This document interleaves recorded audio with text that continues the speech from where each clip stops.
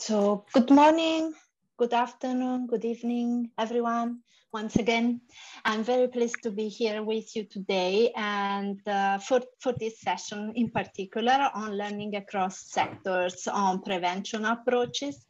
I am pleased to be joined by a wonderful group of presenters, more specifically, Sabine Rakotomalala from World Health Organization with her colleague Mathilde Bauder, also from the World Health Organization. Jessica Lenz from Interaction, together with Neil Dillon with that for uh, from Data Conscious.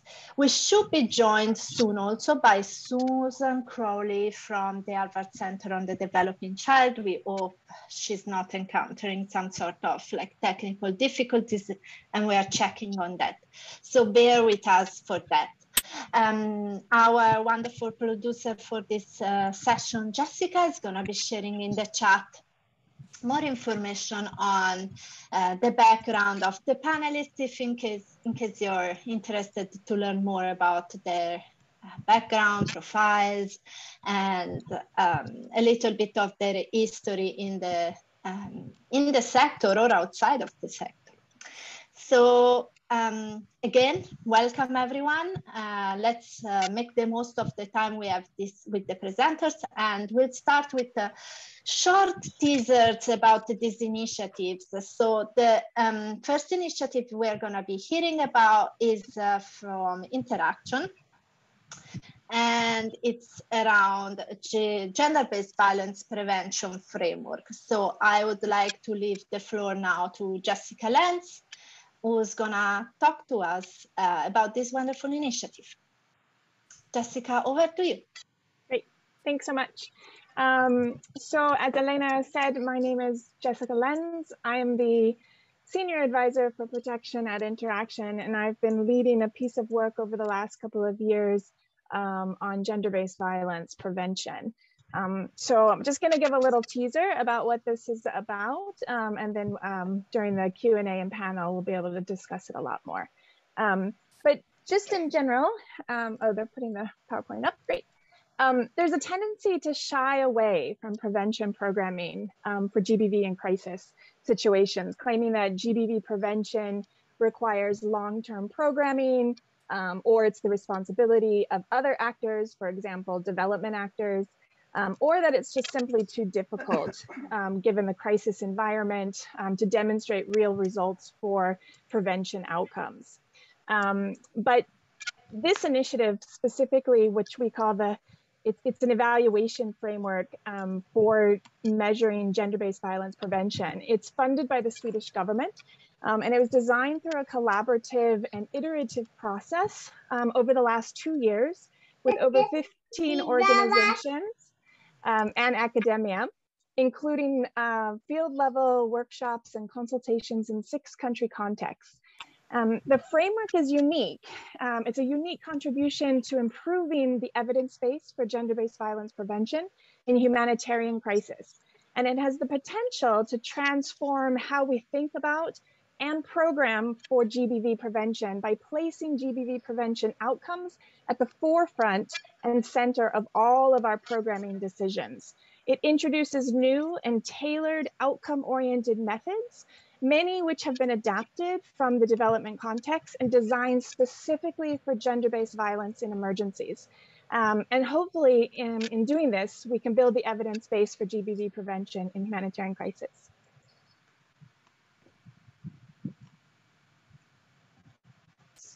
So yeah, great. Um, so what is it? Um, the gender-based violence prevention evaluation framework, it's a set of guiding approaches aimed at helping practitioners make better decisions in their analysis, in their program design and measurement such that GBV prevention outcomes can be evaluated. So what is the problem that this framework is trying to address?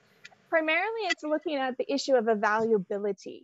So the research that we did prior to undertaking this particular piece of work demonstrated that the majority of humanitarian programs aimed at reducing or preventing GBV are not evaluable. So certainly we can evaluate in terms of outputs and we can look at the quality of programs, but not in terms of prevention outcomes, whether or not that risk has actually been prevented or reduced. And some of those core evaluability problems that we were able to identify include uh, weak context specific analysis for GBV risk. So oftentimes what we're seeing as analysis is very generalized um, rather than the nuance of what that risk looks like.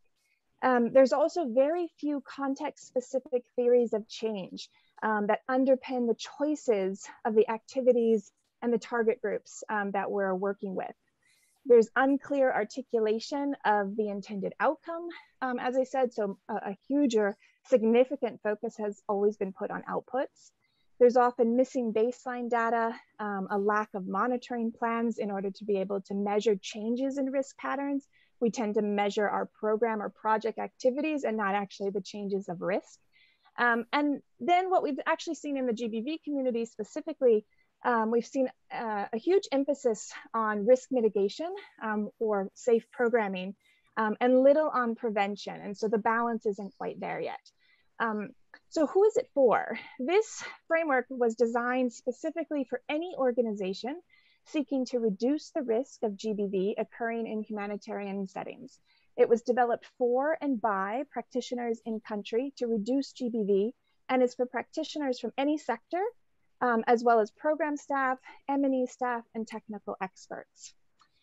So what does the framework cover? Um, specifically, the GBV PEF um, was designed to help you start from where you're at. Um, and it covers uh, four specific uh, modules or um, key, key questions, um, specifically looking at GBV risk analysis, project design, measurement, and outcome-oriented evaluation approaches. And this, I think, is the most exciting piece um, because it introduces new methods for evaluating GBV, GBV prevention in an outcome oriented way. Um, there are approximately about 13 different methods that we're introducing.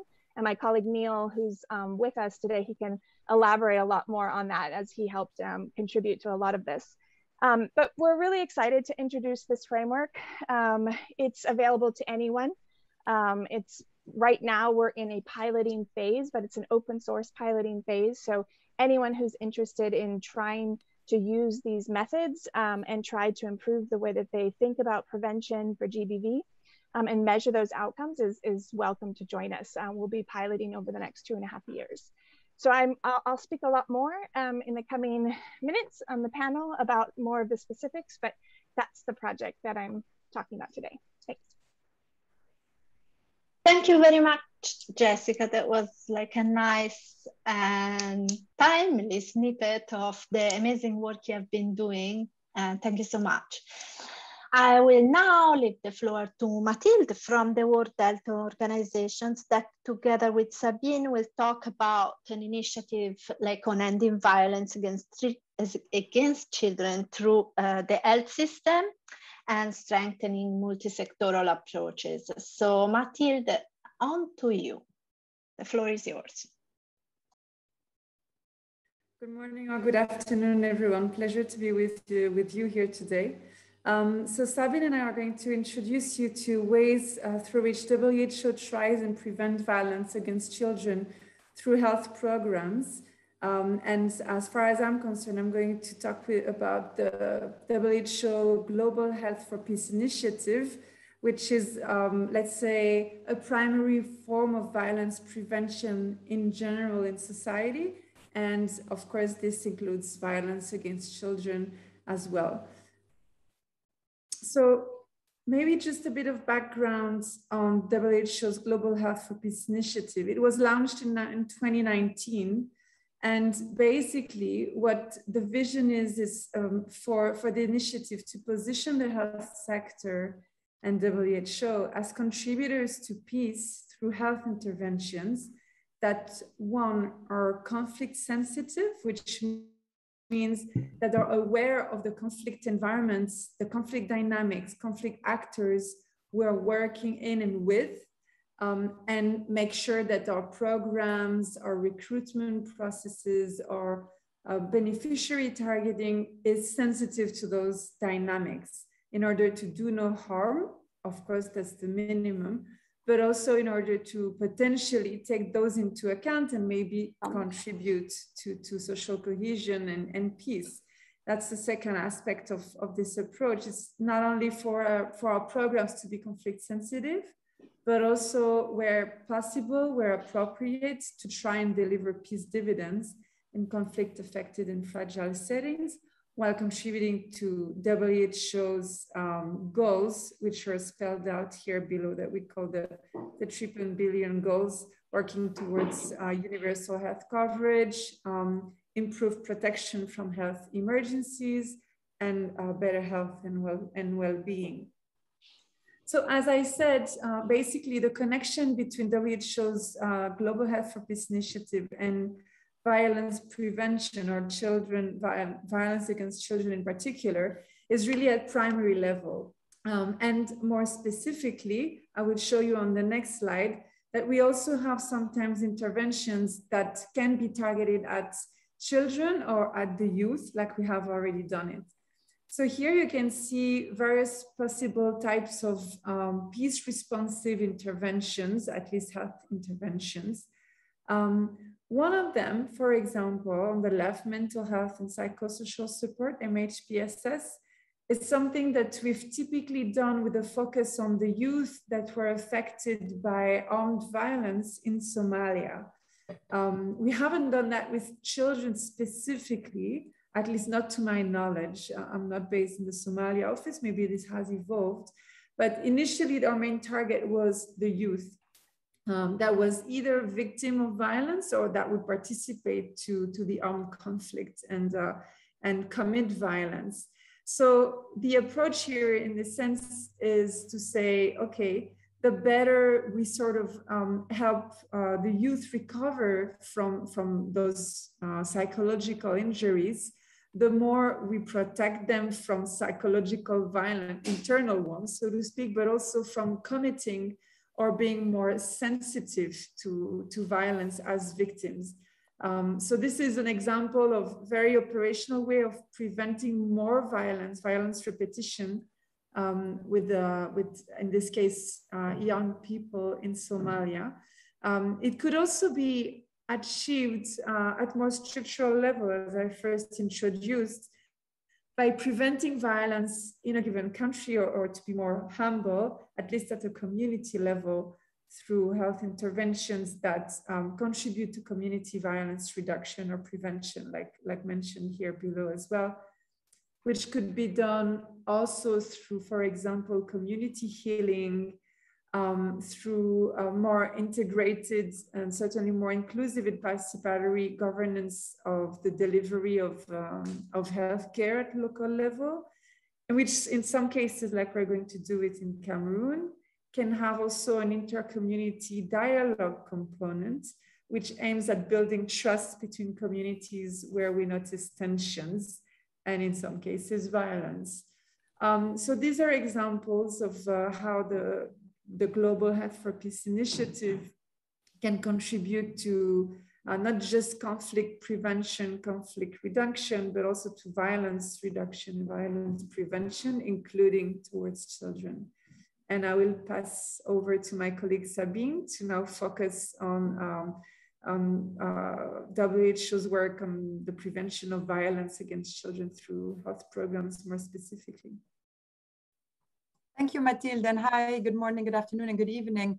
I'm just going to take two minutes. Um, first, I just want to show you two slides that are literally hot off the press because the researchers came out last week and it's actually being presented tomorrow, but I was allowed to sneak preview it to you. I think you'll be just as shocked as me to see these numbers that um, a study conducted by CDC, USAID, World Bank, WHO, and it shows that uh, for each uh, COVID death, there's uh, for every two COVID-19 death, there's going to be one child facing orphanhood. So you see the data for 2020, and then you see the huge increase, of course, of COVID-related deaths in 2021, and the number of children that are going to be affected by orphanhood. And so where um, Mathilde was talking a lot about uh, primary prevention, we're looking at secondary prevention on the next slide um, where there's really three pillars of work that these groups of organization are going to be working on together in this in the framework of COVID. So the first one is, of course, preventing COVID-19 deaths through uh, equitable vaccine access and uh, vaccine, you know, addressing vaccine hesitancy. Um, this is very similar to the work that Mathilde was talking about. Then the second pillar of work is about strengthening family-based services, providing parenting tips, supporting family-based care, case management, and so on, the more traditional stuff. And then the third one is strengthening through economic support the families. We know that nowadays people are suffering even more than normal. So if you have to take on uh, a child, an, an orphan child in your family, of course, they don't just need the parenting or family-based support, but they also need the cash. Um, just to, this is a bit of a parenthesis because these slides, I find them so incredibly strong. Um, and then, of course, the normal work has to continue, like the social service workforce, um, uh, the, the uh, access to uh, public health services and safety nets. So I just want to move on to the next slide because this is a bit of a COVID parenthesis. And what does WHO do in normal times, in addition to the primary prevention that we've just heard about, and now this COVID response? So just so, in case you didn't know these numbers, we know today that 23% of children in the world suffer from physical abuse, 36% from physical abuse, uh, from emotional abuse, sorry, 16% from uh, neglect, and then sexual abuse, we have 18% of girls and 8% of boys. So huge, shocking figures. And of course, the impact of that on the next slide um, is not only homicide. Um, if we can just jump through the next two slides, actually. Um, so we know people can die and suffer serious injuries, but on the next slide, you'll see that there's also, um, of course, these children that risk becoming perpetrators of violence, depression, obesity, high risk sexual behavior, uh, harmful use of, of, of uh, substance abuse. And I know I'm preaching to the converted here, but just to remind you why WHO is so engaged in this, it's because the consequences are so enormous. And then the last slide shows us, um, in addition, again, to the, the work that Mathilde was talking about around primary prevention and then in the COVID response, this is the more typical work that we do is trying to uh, train primary healthcare workers on these nine components. So how do you recognize children um, that have been abused? How do you do a quick and solid risk assessment? How do you do a medical history and physical uh, examination? You know, has it been burns uh, on the back, on the head, and in the in the legs? Um, what kind of uh, um, physical examinations you have to do? And then, of course, immediate support for women that have been, uh, and boys, girls and boys, sorry, that have suffered sexual abuse, making sure that um, uh, the, the pregnancy care um, and HIV uh, uh, AIDS, psychological first aid, and then the ethical principles is so important. We have this assumption that we should all be reporting all cases of child maltreatment, but that's not the case. You can, if you have teachers or community members all reporting child maltreatment, that can in fact put children in a worse situation. So there's a lot of thinking around that that the health sector is trying to um, assess and, and promote then addressing the health, uh, the needs of healthcare providers and coordination, of course, uh, across all these services. So just back the WHO in a summary, there's this peace building component, there's this child maltreatment component, and then there's a strong component around family care and family support. Back to you. Over.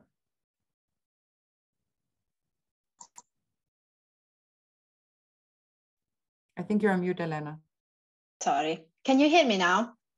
hopefully yes wonderful um, thank you all for trying to squeeze so much content into such um, a tight time frame we have limited time available and we're trying to make the most like of your expertise i will now leave the floor to susan crowley who made it yay and uh, we will be hearing about the science by design project that uh, we have been co-working on for the alliance Welcome, Susan, and the floor is yours.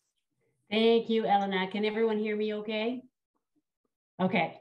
Um, apologies for giving anyone a heart attack who thought I wasn't going to show up. I had the time zone wrong. I was very nice and chill and having a cup of tea, and then I realized I was way off. Um, so I am Susan Crowley, and I'm here from the Center on the Developing Child at Harvard and um, have a little video clip to show you. But before we show that, I just want to give you a little bit of background around on what the center does.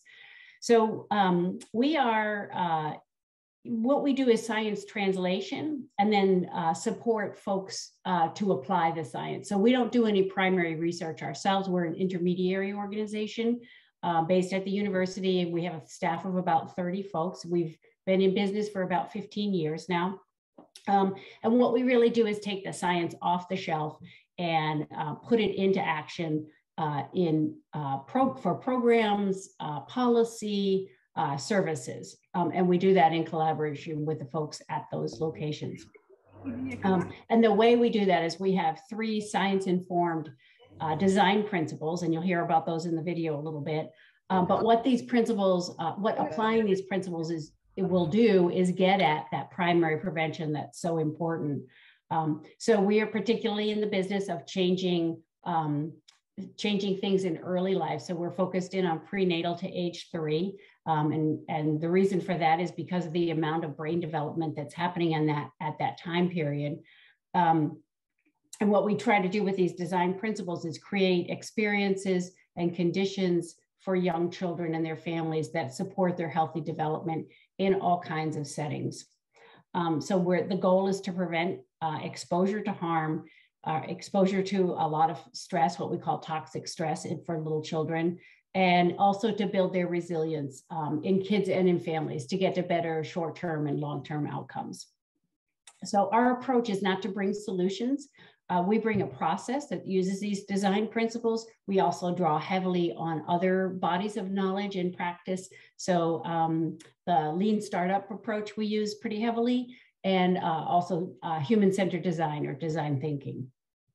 Um, and we use we start with the lens of the science so it's a it's a little bit of a mashup of all those different ways of thinking um, but draw heavily on the expertise of local act actors so staff who are working with kids and families or the families themselves uh, and as Elena mentioned, we're currently working with a subgroup of actors in the humanitarian setting. And so we're very excited about that. We're going to be walking through the process, the design process with uh, two teams um, and, and hopefully do some design and iteration on the programming that they offer. Um, so the, the video does dive into the three principles a little bit. So let's have a look and learn about those.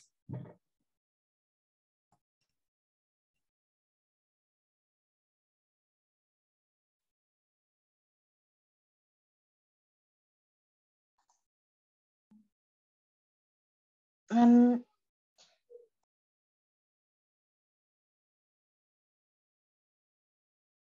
Is the sound? I'll try again. Yes, thanks, Jessica.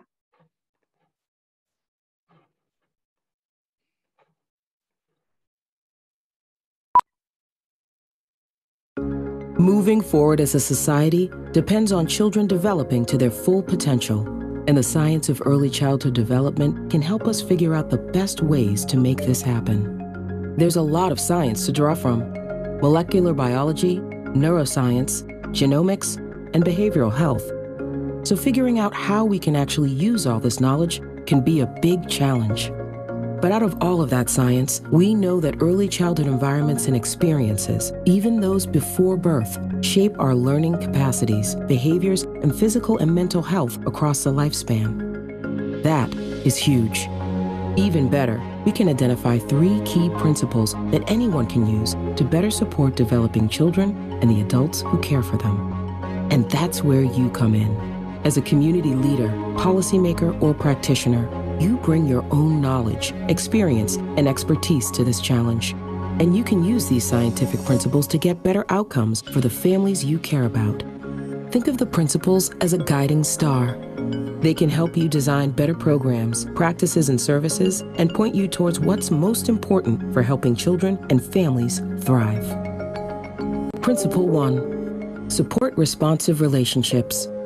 Responsive serve and return interaction between adults and young children builds healthy brain architecture. Relationships help adults deal with life's challenges and help children build resilience. In fact, having stable, responsive relationships with committed adults is the single most common factor in children who develop the capacity to overcome serious hardship in life. Principle 2 Strengthen core life skills. The essential skills we all need to successfully manage life, work, and relationships are learned through coaching and practice, starting in the earliest years and continuing into adulthood. Known as executive function and self-regulation skills, these crucial capabilities support our ability to focus, adapt to change, resist impulsive behaviors, plan ahead, and achieve goals. Principle 3 Reduce sources of stress.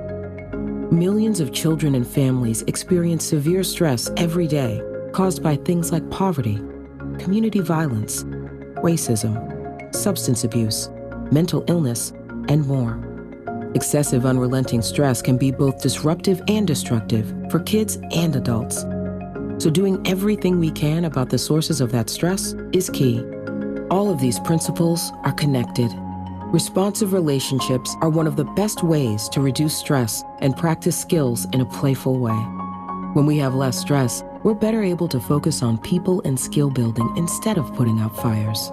And core life skills can help us find solutions to challenging situations, giving us the time and energy for relationships. By applying these science by design principles, our policies, programs, and services can create the conditions and experiences that support child development at all levels for the individual, in the community, and across society. Follow that guiding star, and you'll be on the path to better outcomes for every child and family.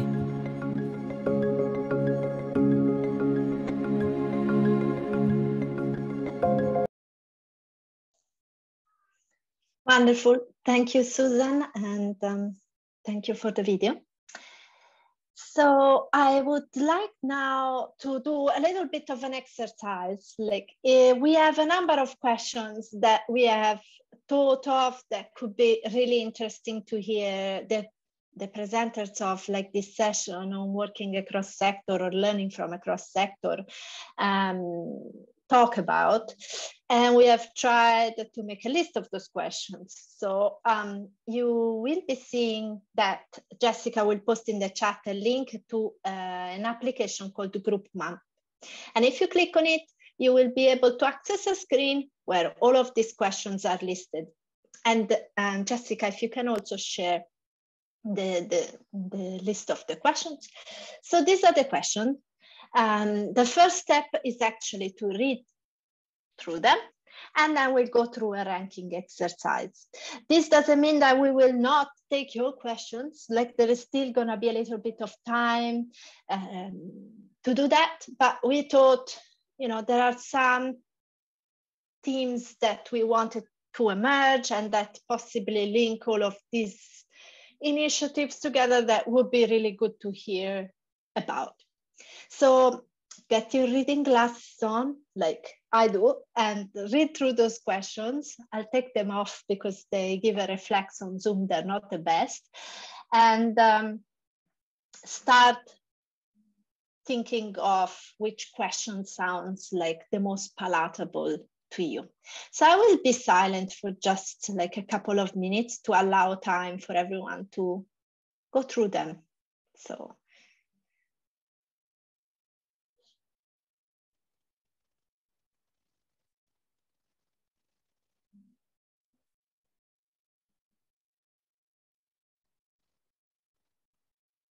I can see you. Some of some of you are already liking the questions. Um, so I'll give like a few more seconds to allow to read through. And it's also good to um, to like, but we'll go through a ranking exercise in a minute.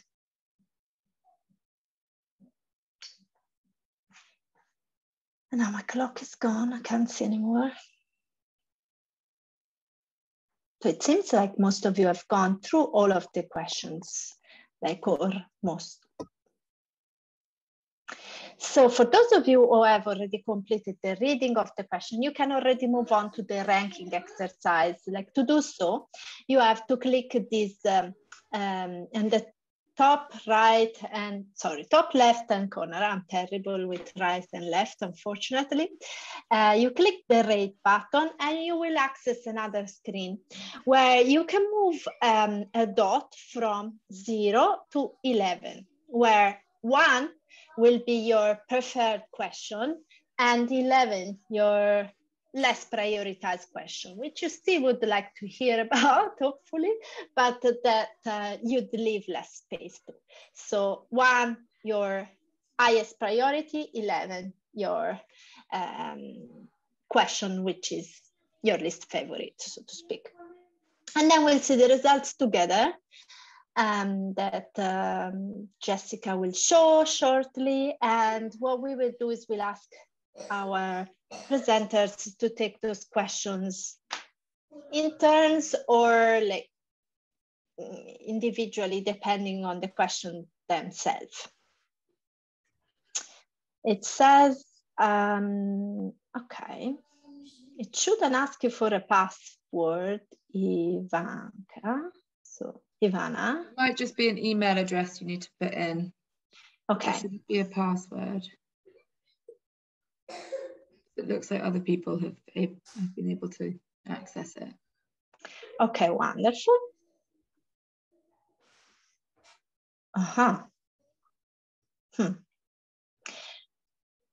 I'll tell you what, Ivana, if there is a question that you'd really like to prioritize, like just drop it in the chat, like, or let me know which one it is in the list that um, Jessica showed, and we can look it up and have your voting somehow like that.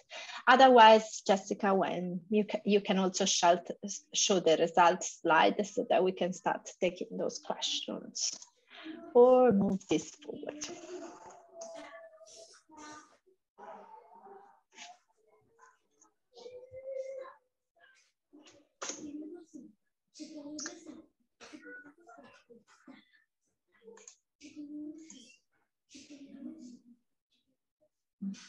Okay.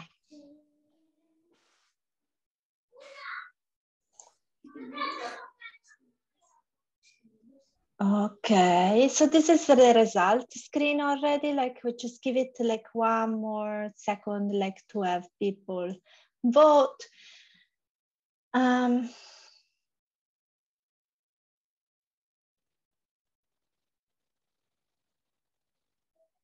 it's changing all the time. it's going to be difficult to start with one question. Um, so it seems like the first question is for Susan.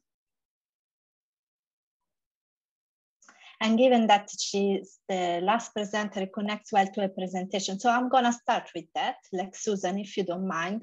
So the question will be, what does it mean when we talk about outcomes oriented? Oh, sorry, it has changed. Okay, I'll just give it a minute, then we close the voting, just if we can do that. Otherwise the questions will change again. Okay.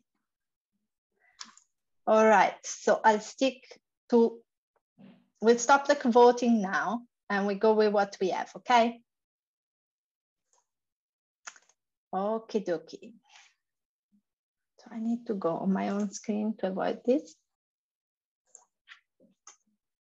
I'm gonna work from home. So it appears, according to the results I can see on my screen, the question that has got more votes seems to be or how can we measure results of work seeking to change wider community and social norms when working with short-term projects funding cycle, often seen within humanitarian programming? And this can be asked to all of our presenters, but I maybe will go with um, um, Jessica? I'm actually going to turn this over to my colleague uh, Neil, um, okay. who, who, worked sig uh, significantly on the GBV um, and really looked at this particular question with communities and organizations on the ground in some of our six different countries. So I think he's best placed at the moment to talk about this. So go ahead, Neil. Thank you, Jessica, and thank you, Elena. And just to check, I think I was seeing different questions on that list. So we're on the time frame question right now, right? We're on the how do you measure change over such a short time frame? Is that correct? Uh, we all... No, sorry, it's oh. the question around uh, how do you measure community? Sorry, I, I'll reread the question and apologize for this hiccup. Um, how can we measure results of work seeking to change wider community and social norms when working in short-term project funding cycle? So it's the one about the timeframes, yes. Yeah, yeah, perfect. Great. Yeah. So thank you, Elena. And, and like I say, thank you, Jessica. That is an issue that we looked at in great depth when we were developing the GBV PEF. Um, in a sense, um, there were many challenges that we saw in that work. And in a way, I think this is kind of the biggest challenge of them all from a methodological point of view. Um, purely because you, you know you can't buy time. There's nothing you can do about it. If you have a short time frame, a six or, or 12 month uh, project cycle, it's very hard to measure change of the, the types of community-based norms change that we're all talking about. So I think you all know that. Um, it's just to say that there's no kind of quick methodological fix to it. it it's really a core gritty problem we have to try and look at. Um, I would say, first of all, there are some approaches that you can try and take towards it, but we did see some movement on donor side that there was some sensitivity to that problem. Um, and so the growth of multi-year funding packages and also consortium approaches, consortium approaches to, to monitoring evaluation that we've seen in other sectors in the humanitarian uh, sphere. It, these are all ways that donors and organizations can work together to try and separate the time frame for the measurement and the evidence base from the short-term project cycle. So if you have a consortia like with the cash coordination group in Lebanon, you can team up and build a, an evidence framework that lasts over several project cycles. Um, if you have multi-year funding programs, of course, that's much, much easier to do. Um, but when those options are not there, I think there's two things that we saw when we were trialing and testing out the ideas in, in the GBV Um, and those ideas came from different organizations working on GBV prevention in different contexts. But essentially, I'd say the first thing is to invest at the country level or area level evidence framework. So what I mean there is having some kind of theory of change that's attached to your work in South Sudan on um, child, child protection, for example, and, and, say what is it you're trying to achieve at a country level over a, a sort of a medium term um, timeline across multiple projects. Many organizations have something like that.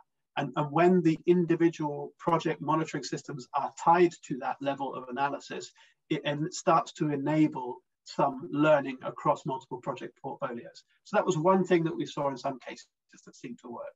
The other thing would be to identify steps along the path to change.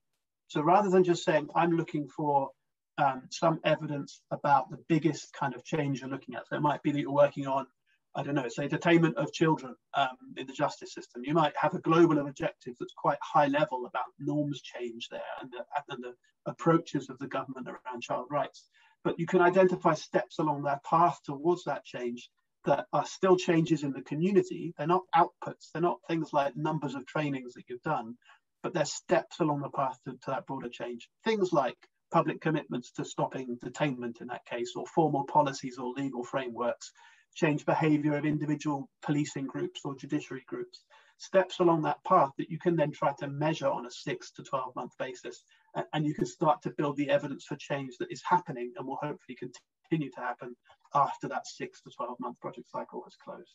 Um, so I'd say those are the kind of the approaches that we saw, the nascent approaches that we saw when developing the GBV PEF that I think could have potential applications in the child protection space as well. Um, so Elena, I hope that's answered the, the question for, for you. Uh, I'll turn it back to you for the next question.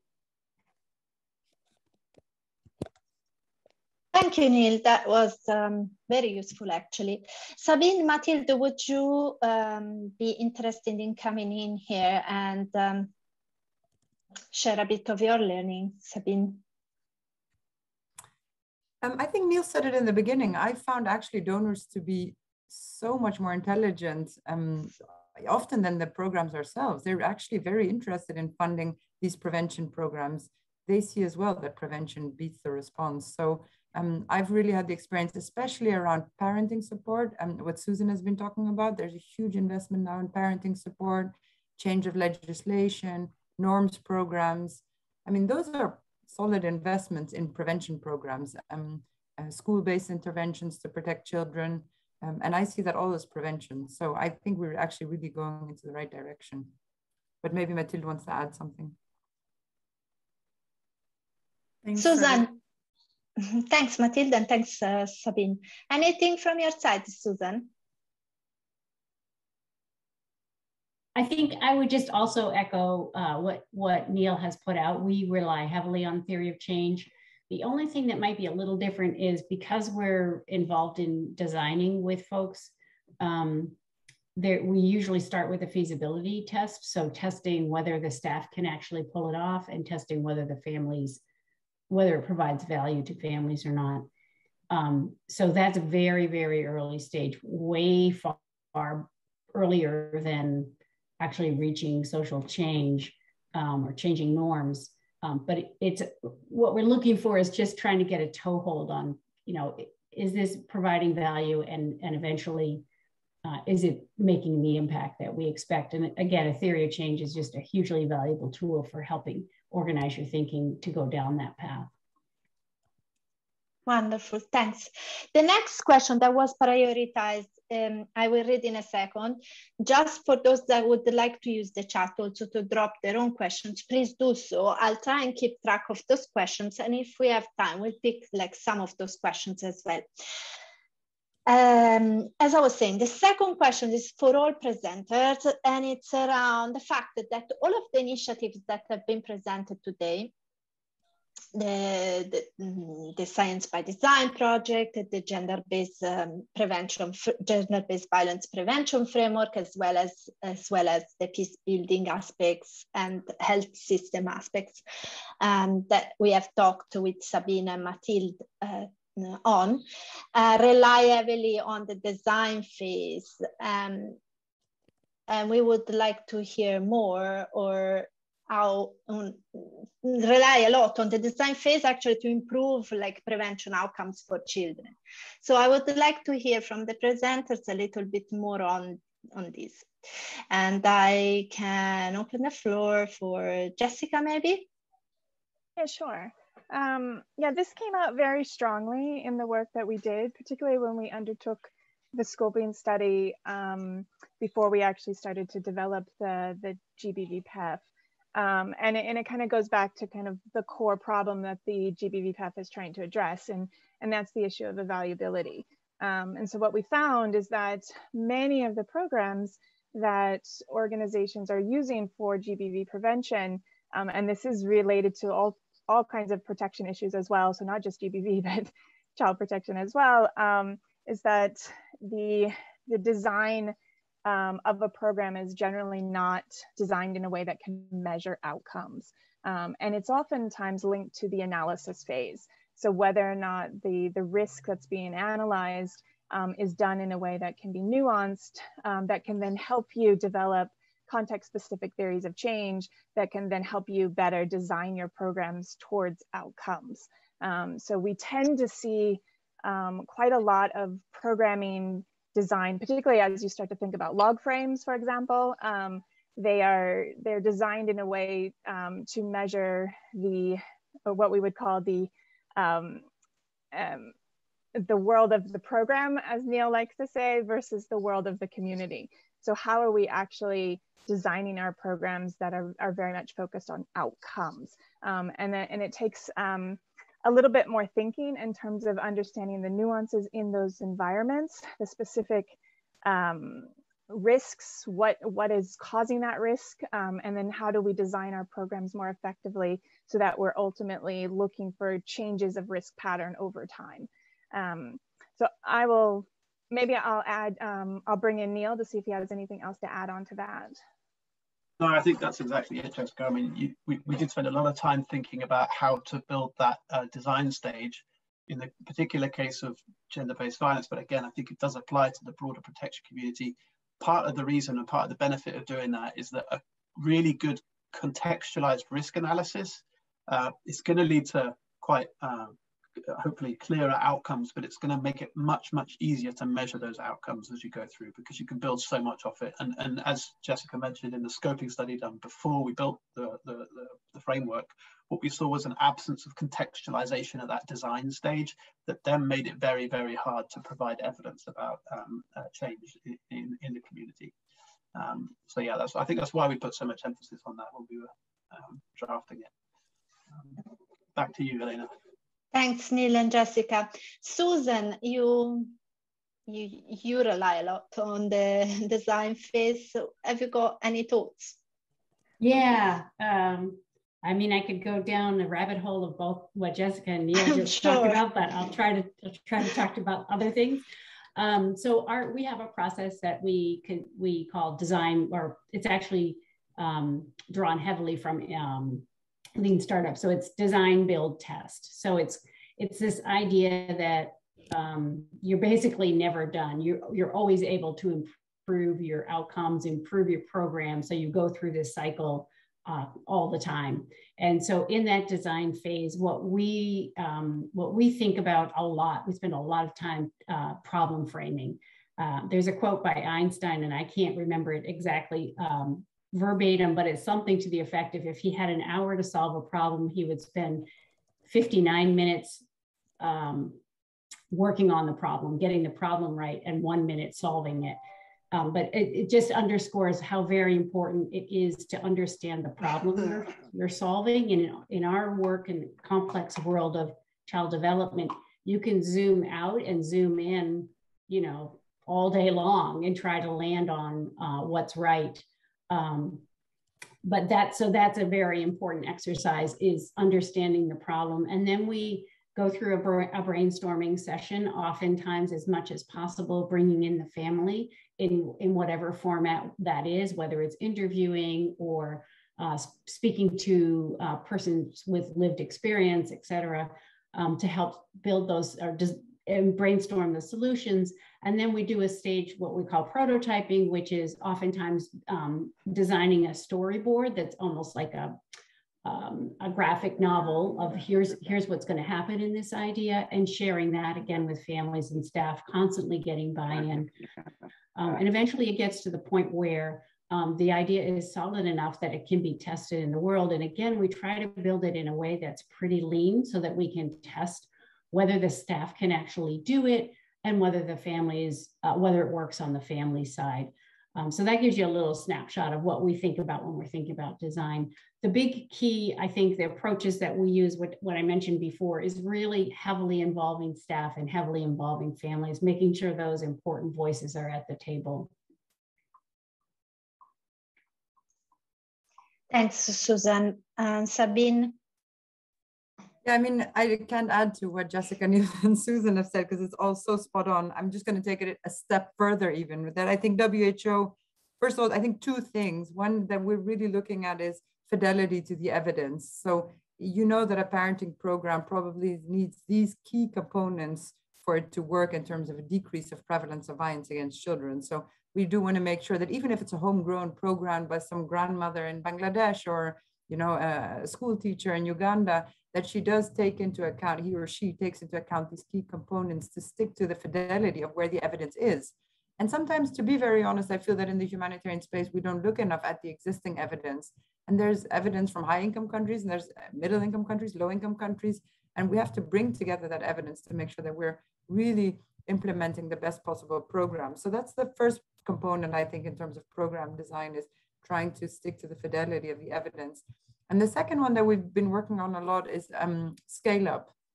Um, and then we speak about vertical scale up and horizontal scale up. So in the very beginning, when you're setting up a program, let's say a school-based into life skills program, you need to think through how can I possibly, from the get-go, scale up um, if this works. So you want to make sure you have the research component in it, so to track if it's working, and then see if you can um, do horizontal, a vertical scale up, which is get it into ministries of education so that they actually understand it and believe it.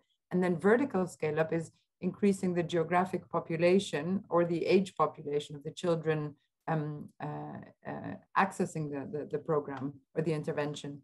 And, and what I find for me has been an eye opener over the past two years that you really have to think of that scale up process from the very beginning, because otherwise you're project, which works really well in one village in South Africa, maybe in the next village, which is 10 kilometers down the street, it's just not going to work.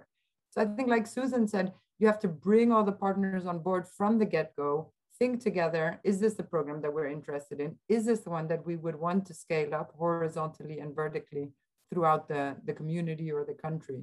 So I think that's for me is a key component of the design phase.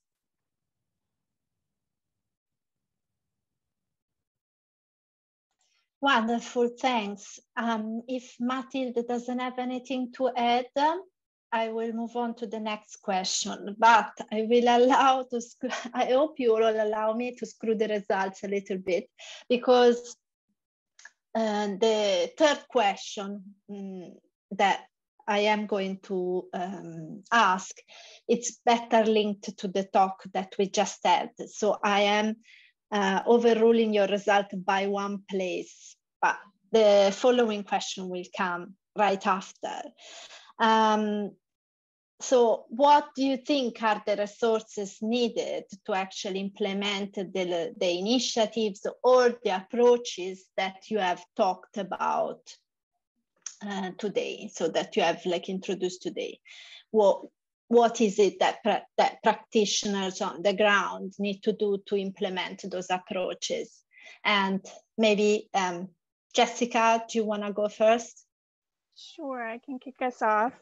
Um, this is an area that we've spent a lot of time thinking about because obviously within the GBV PEF we're introducing new methods um, for thinking about evaluation, um, particularly trying to achieve outcomes. Um, and, you know, first of all, I think agencies get very scared, um, like, oh no, we don't have the resources, et cetera, to do any of this. Um, but the framework itself was designed in a way to be able to start where you're at. So there are entry points for every organization, no matter what your resources level is or your capacities, et cetera, to be able to figure out where you can actually begin to start to rethink differently about your work um, but some kind of concrete kind of key pieces that we think that will help um, strengthen this type of work in general. And I think you've heard it from multiple people today is there is a need for multi-year funding, particularly in humanitarian settings. You see this more obviously in development. Um, but I do think that we're seeing more and more donors come forward with those opportunities to encourage more multiple year funding.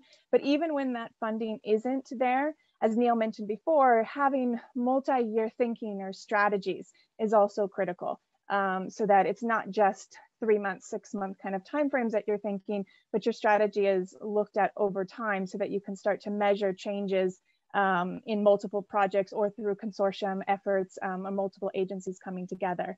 Um, but, but also I think some of the other kind of critical areas outside of funding specifically, because sometimes we get too caught up in the resource aspect, um, but is is really an aspect of um, a mind shift and rethinking how do we understand um, how to do this work differently. Um, so being able to be more iterative in your way of working, um, thinking more in terms of learning, um, embracing that learning aspect, moving away from the idea of success and failure, but being okay with the fact that you might have to adapt your program along the way as you start to learn and how things shift and change. Those types of mindsets um, and shifts also make us think differently about the types of staff that we're hiring. So the, the capacity of a, of a staff to be able to think more critically, to be adaptive, to be open to change, um, those are also really key factors that you want to start to think of when you when you try to implement some of the this programming. So it is about you know encouraging new mindsets. Certainly, the resources that we need from thinking more longer term, multi-year, et cetera. But um, but there there's also um, an effort too, I think, in thinking about um, how we collaborate with others. Um, and I think particularly thinking about um, child protection or gender-based violence, we know that we can't solve these problems by ourselves.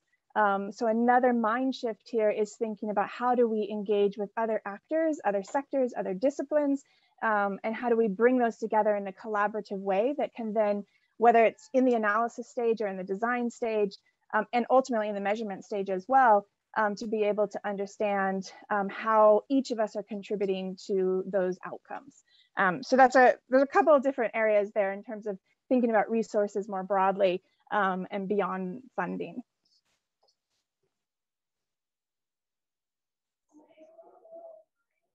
Thanks, Jessica. That's wonderful. Mathilde, do you want to come in? Yes, sure. Um, I think one of the major gaps at the moment in the area is uh, is also capacities. So what we what we think is uh, is one of the priorities is to really go for more capacity building in um, violence uh, prevention programming in our sector in, in the health um, in the health sector, and um, through not just um, a, a very operational lens but also a very systematic approach. Um, what I mean is that um, we've talked of the design phase, right? And the importance of the design phase. It is crucial that assessments be conducted through a wide lens, um, whereby we understand the dynamics of violence against children in the broader scheme of things.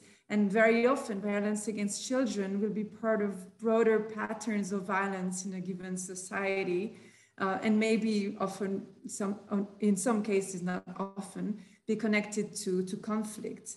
Um, and typically um, especially talking of the health for peace initiative what we see is a major hurdle to implementing this approach to programming is um, staff's limited capacities to conduct a relevant peace and conflict analysis so going beyond just the capacity of uh, of assessing needs, assessing violence prevention, violence dynamics, sorry, um, and, um, and conduct relevant uh, project design.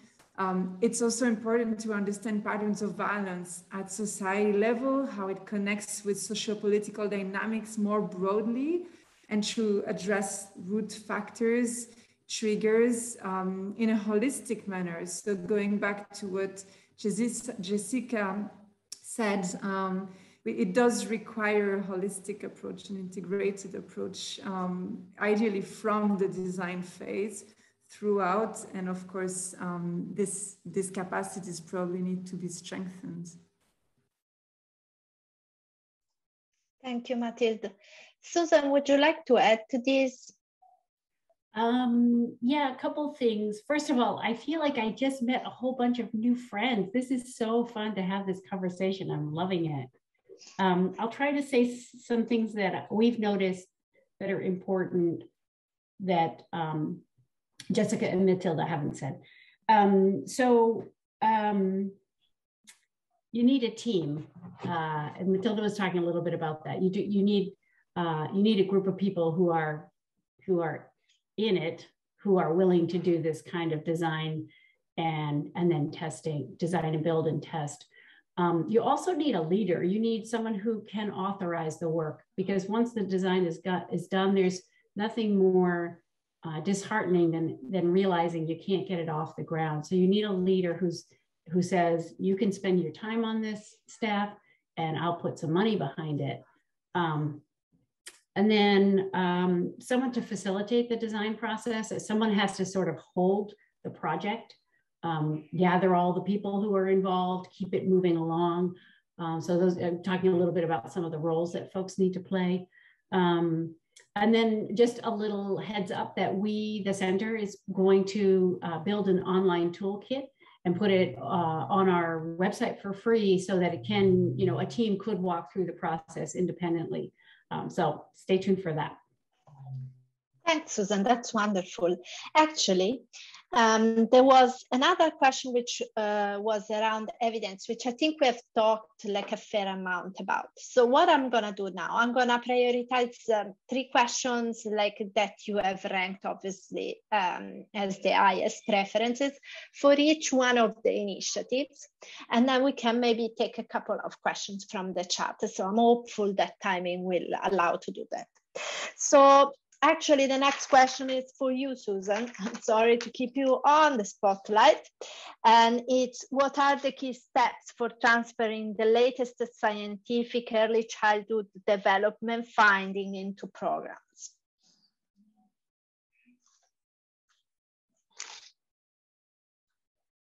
Back over to How you, much Susan. time do I have? it's a, lot. big process. Not a lot. uh, there's, so there's multiple steps. So there's what we call um, synthesis of the science, because as you saw in the video, we draw on genomics, we draw on biology, we draw on developmental psychology, like multiple science fields, pull them all together. Um, I saw somebody had a question in the chat about like why these principles. Basically, they're they're easy to understand, they're they're easy to communicate, but more importantly, all the scientists agree on them. Um, so we do that work and then we, we package it up, we do some translation work. And then all of that happens before we even get to applying to the application.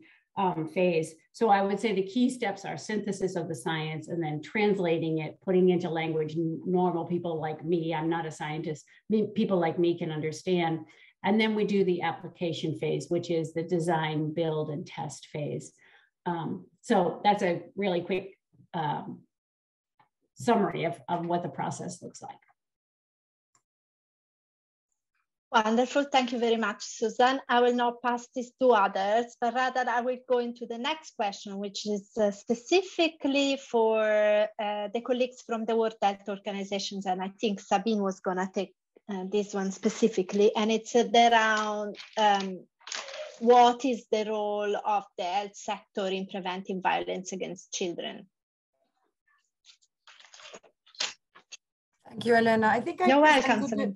Sorry, yeah, sorry. I think I presented it very quickly in the trailer, but I would say really it's two pillars of work. I mean, three pillars of work, because of course there's the peace building component that Mathilde has been presenting in which um, we're working at so many levels in terms of creating equitable health care and governance structures to strengthen peace building. That would be the first pillar of work.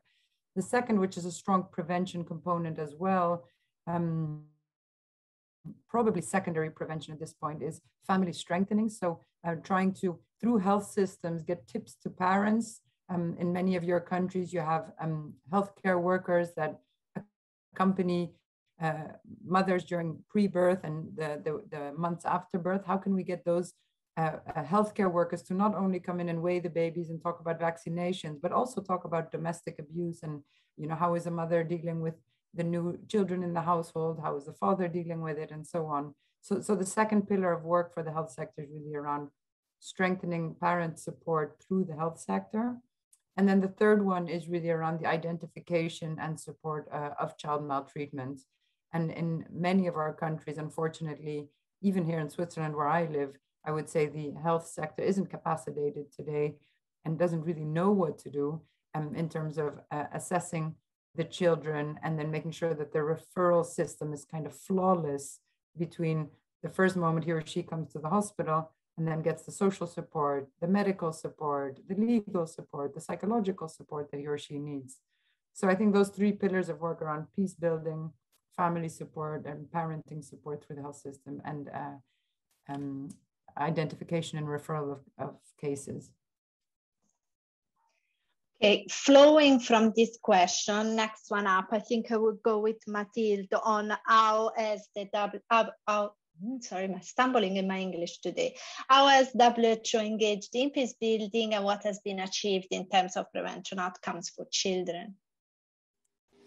Um, so the WHO has engaged um, on in the peace building sector first in the 80s, 90s, um, and since more recently, since 2019. So in the 80s, 90s, uh, there was an initiative that was launched that was called uh, Health as a Bridge for Peace, um, whereby uh, health interventions in conflict affected settings were an opportunity to um, improve access to populations um, which had limited access to, to social services in general, including health services, of course, while trying to uh, bringing different parties to a conflict together.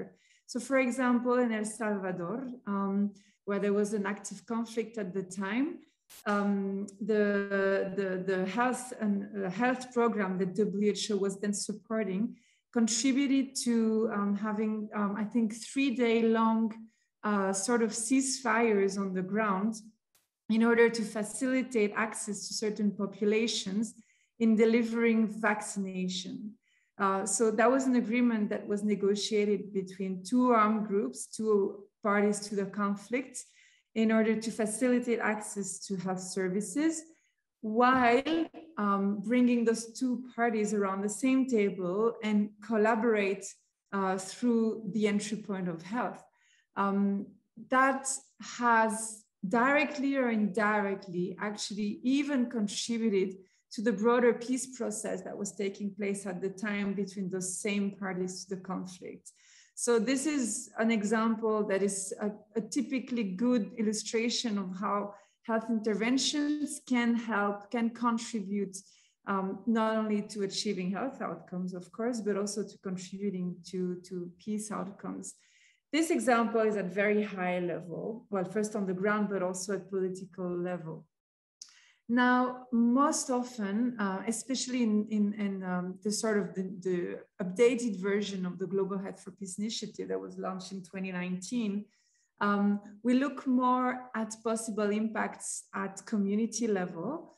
Um, and um, as I mentioned earlier, um, a typically interesting case has been the one uh, in Somalia, but also in Sri Lanka, whereby WHO, through mental health and psycho, psychosocial support, has been supporting communities with a particular focus on young people in healing from armed violence, but also preventing them from conducting more armed violence, from taking place, from take, sorry, from taking part to armed violence um, in the context of a conflict.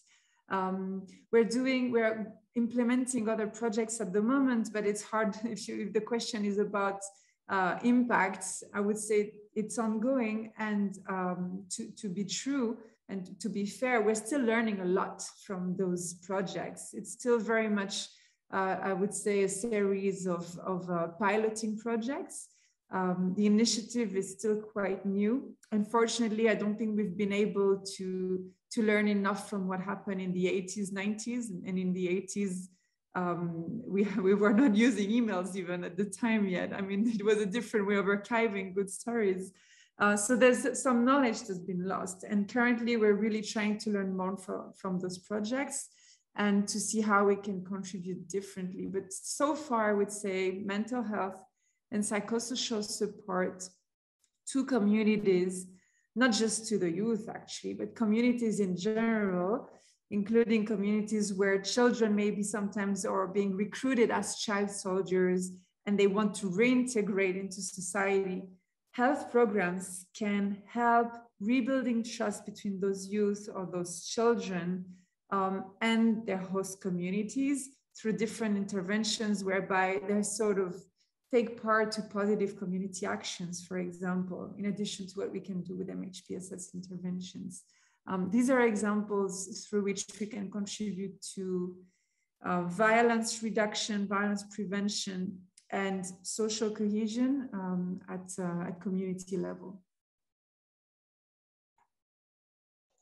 Wonderful, uh, thank you. The last one of the planned questions, before I give a little bit of space of the question, to the questions in the chat, is for Neil, and it connects a little bit again, like to the points raised by Mathilde around learning, and is on what do we mean when we talk about outcomes-oriented ways of working.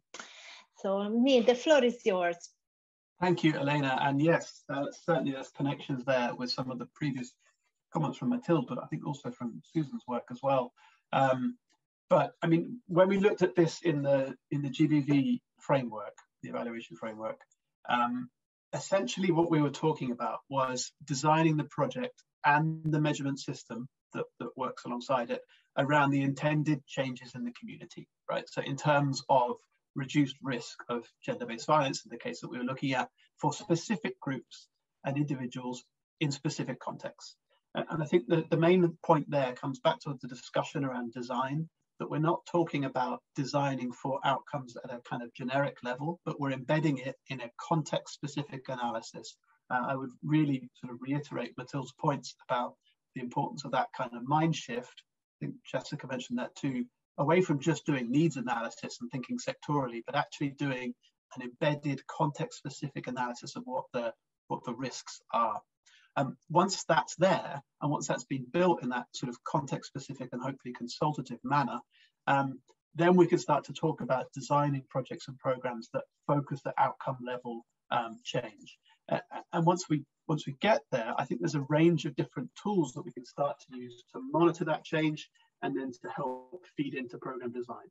Some of the tools that we put in the in the framework, and there are, like Jessica mentioned, many tools in there, so I won't go through them all, but some of the tools are things that you might be familiar with from other contexts. So things like outcome mapping, where you're designing a project around a context specific vision.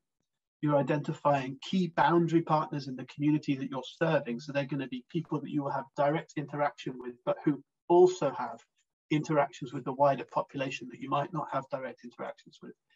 And then building with those boundary partners, building progress markers, ideas, sort of soft indicators of change that you want to see, things that you would really expect to see, like commitments to change amongst community actors or perhaps perpetrators, things that you would really like to see, like behavioral changes amongst and things that you would love to see, like community-wide social norms change. Um, so we looked at tools like that that can help us plan, design, and then measure change at outcome level, rather than just retreating to measuring sector specific, but also activity specific outputs. Uh, and that's really what we were trying to, to argue against to get beyond. The last tool, if I may throw it in, Elena, before we before we move on to the next question, that I think is really worth considering is the use of journals to track change. So I mentioned earlier the idea of working with a core group of people who can uh, have direct contact with community members. In the GBV example, we had uh, projects that were working with sex workers who they might have a, a core embedded relationship with certain uh, people in the sex worker community, in a particular community, um, who could then um, help journal change in that wider community. So they, these are people that you can speak to periodically to tell you about changes in the way that attitudes or practices or legal frameworks or policies or commitments are happening um, so that you can then build an ongoing kind of shifting picture real time of how risk gbv risk or, or protection risk is evolving in that community. Um, and if, if you have those journals and those journal teams in place you can map that as you go and start to design and amend evolve your project objectives as you go and as you learn more about how your project is interacting with the community space and the risk uh, that, that is embedded there. Um, so tools like that, outcome mapping, results journals, we also throw in other tools like most significant change, lots of bits and pieces that can help you unpick that stuff. But the, the point of them is not the methodology as such, but the, the mental shift around thinking about changes in the community, the realm of the community, rather than thinking just about things that I'm doing in my program, outputs things that I've delivered, numbers of training sessions. Instead, we're looking at sometimes high level changes, sometimes low level changes, but always in the world of the community. And I think that's the core thing that we were trying to encourage when we were developing that kind of outcome oriented thinking in the, in the GBV framework that we, that we developed. Um, Jessica, have I, have I missed anything that you think is important to add there? No, I think you covered it really well. So, I mean, I mean, linked to all of this, um, as I had mentioned before, it, it, it really is a mind shift um, in terms of how we think about programming. Um, there is a tendency, I think, to think very rigidly about our using our typical log frames. You know, we get these requirements from specific donors, even our own organizations, and it, and it's shifting that. It's it's it's thinking more iteratively, adapt. You know, being embrace adaptability. Um, some of these kind of core traits are really valuable in, in being able to measure outcomes. You may stay on both because I think that's a question from um, the chat that links well to this. It might be a tricky one to answer, so bear with me. But um, Ivana Chapkakova uh, says, we know that change happens over time, and I think it has been a big part of this conversation. What is the time frame we should be thinking about in relation to violence prevention programming? I don't know if you have thoughts. I know it's a hot question. and Sabine, Susan, or Mathilde, if you have thoughts, please um, think about it before you're put on the spot. Jessica, Neil. Yeah, do you want to kick us off? I feel like you were just kind of talking about that a little bit, but I can add on. Yeah. Uh, I think it's too hard. I think my answer to that question is it depends. I mean, it, it's going to depend on the particular program and the particular type of, of community and the, and the risk that you're looking at.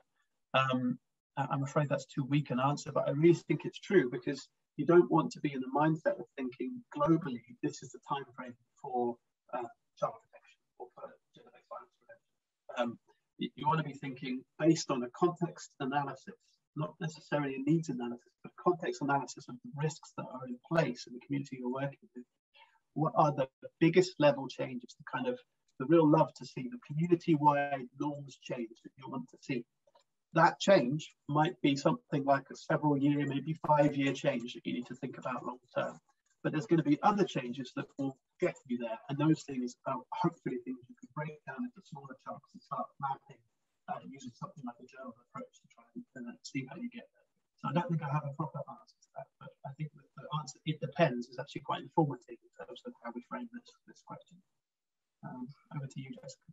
Yeah, I mean, that's that's kind of the approach I would take too. I think not to get stuck in the mindset of that prevention is always about long term. Um, and I think that's that's what we've seen consistently across the humanitarian community. And that's why oftentimes prevention work is given to other actors like development actors and not embraced by the humanitarian community. So thinking about prevention in the short term, the medium term, and the long term. Um, and I think if you're um, doing that contextualized analysis and creating that contextualized theory of change, you're going to see multiple pathways as well as multiple actors who need to contribute at different points of time in order to create that change and that rippling effect. Um, and so it's it's not just a simple um, you know six years out or et cetera. You're going to see change. I mean, you could have an actor who's nego- you could have a community leader who's negotiating with an armed group um, to stop uh, recruitment of children in that community. Boom, that happens within one week, for example. That may not completely change the entire army or that that military group in terms of their behavior particularly across other parts of the the, the conflict but maybe in that community it's stopped. Um, and so i think you have to you have to be creative and you have to think um, about what's going on in that particular community and where your entry points are to be able to prevent or stop certain types of violence from occurring i don't know if others have anything I'm happy to yeah, go ahead, Sabine, please come in. Yeah, just um, I find it interesting because I don't know if you've ever been to a psychologist or if you've ever brought your kids to a psychologist, but or to anyone else, but it's just so annoying when they just say, "Well, we'll see," you know, we can go on for months, and um, and that's just the most annoying answer because you just want like, is it going to be eight sessions or is it going to be three months? And um, and I feel a little bit that at least with the violence prevention programming, we are coming to a stage with some types of programs where you can say, actually, in 12 sessions we can see a decrease in violence in the school or we with you know 25 sessions we can see a decrease of violence in the community. And whereas i completely agree with what niels and jessica are saying that you have to understand the the context. You also have to see what are those elements that you can measure. Um, because of course we want to make it as short as possible. You want your intervention to be short and impactful um, so I, I feel that we should actually put more effort into measuring the minimum time that's needed to achieve the outcome that you want um, that you want to achieve. And, and I do feel, of course, things like changing social norms, I mean, that's so much out of your control. So you do what you can. But the other programs that are much more self-contained, like school-based programs or parenting programs, can actually be relatively uh, time time limited and time bound. Sabine, maybe you want to stay on because you talked a little bit about scaling up like earlier, if I'm correct, and I've not mixed presented up. Because there is another question in the struggle to trying to get answers to everyone uh, from Maria Elena Latini from AVSI, who's asking, how can we solve the dichotomy between community-based and in a sense, unique interventions for a specific community and the need to scale up? Again, hot question. So sorry to put you on the spotlight, but our audience is keen Thank you. Um, I think it's one that we all struggle with. And I think we tend to think we have to listen to the homegrown programs because they're homegrown, so they know best what's needed. And I think we we need to sometimes step away from that. I think we can also think, wait a minute, some of these programs are actually very functional and they have strong, and sorry, I keep on using the word evidence, but um, it does work. If, if you know that a program works, then try to take those key components and import them. And so, of course, then you have to reassess whether it's working in that community. Uh, so I wouldn't call it a dichotomy. I think take what there is in terms of the evidence, present it to the community. Likely the community is in fact impressed because they, or they, they, they want it because they know what they, um, whether it will work or not, and they're very direct. Um, and then reevaluate to see whether it works in that community or not. So I wouldn't put it as a dichotomy in terms of like one is coming, you know, from up and the other one's coming from down. It could be that the one coming from up is actually exactly what the one coming from down needed. Um, So I, I yeah, I think it's a, it's a, it's a good moment to bring them together. But maybe Mathilde has some thoughts on this as well in terms of the peace building component. Uh, the hot potato is with you now, Mathilde. I'm not sure I've got a very different answer. Um, yeah, but I, I, I fully agree with what you've just said, Sabine. I think it's it's actually it's just a, a matter of timing, and it, it's uh, it's complementary. Uh, as long as you draw lessons from uh, a given a given project that's been running in a specific community, you identify good practices. When you try and scale it up, it's not because you're scaling up that you don't give room to context specificity and adaptation. Um, so you come in with your, your, your ideas clear about good practices, what did not work, what are the lessons learned, at least from another experience. And then you try and assess whether the same uh, bad and good practices will also apply in another, um, in, in several other communities. So I would say scale up is just not in opposition with context specificity. Um, with every team that's in charge of different communities. Of course, you will design a, a scaled up version of a, of a given project, uh, maybe at national level or interregional level.